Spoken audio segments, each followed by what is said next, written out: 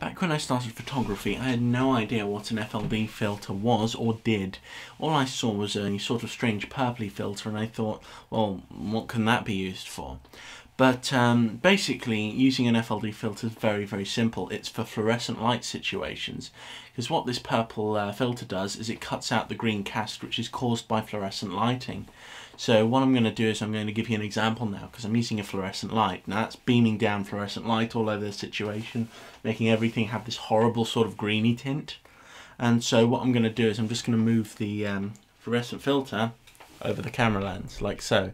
As you've noticed, um, pretty much everything's gone back to the way that it should be in the background, which is really, really good. Um, of course, it needs a little bit of tweaking in post, but apart from that, it's pretty much awesome. Anyway, if you like this video, um, please feel free to subscribe to my channel. I'll be releasing some more videos later. Bye!